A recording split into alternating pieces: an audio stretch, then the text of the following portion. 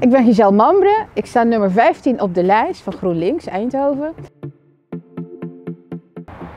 Oei. Ik zeg gelijk en dan heb je groen en gezond erbij. Dan impliceer je dat je ook dat iedereen groen en gezond is. Het zo toegankelijk mogelijk maken voor iedereen.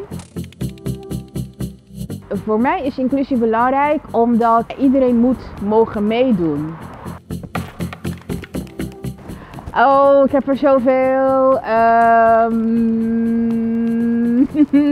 de meest zoete, echt meer zoete romannetjes lezen.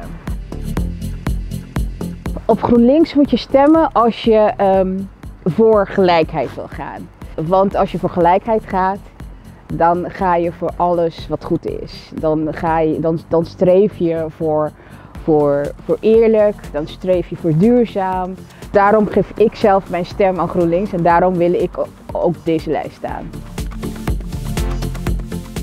Samen Eindhoven veranderen.